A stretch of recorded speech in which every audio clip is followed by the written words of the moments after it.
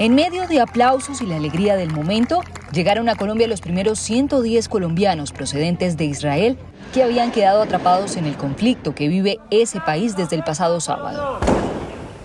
Cuando nosotros los vimos, fue nuestro, nuestra alegría más grande que hemos tenido, porque yo estoy con mi hija y con mi nieta, te imaginas, estaba súper súper, súper triste porque nos decía nos tenemos que quedar allá. Como amparo, estos primeros colombianos que se encontraban de turismo y de peregrinación arribaron sobre la una de la mañana de este viernes, agradecidos de volver a su patria sanos y salvos.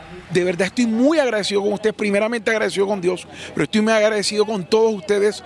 Dios los bendiga infinitamente. Mediante una titánica labor de repatriación por parte del Ministerio de Relaciones Exteriores y la Fuerza Aérea Colombiana, Volaron desde Bogotá dos aviones hasta Tel Aviv el pasado martes y este es el primero en llegar con los repatriados. Es una felicidad encontrarse con los connacionales y con los colombianos que los van a ir a sacar, ¿no? Es la felicidad, lo que yo les digo. Todas las sonrisas que ustedes acaban de ver de esta gente, le paga a uno el trabajo de estar aquí, todos nosotros, porque esto es un trabajo no solamente de la Fuerza Aeroespacial Colombiana, sino el esfuerzo de todos los colombianos.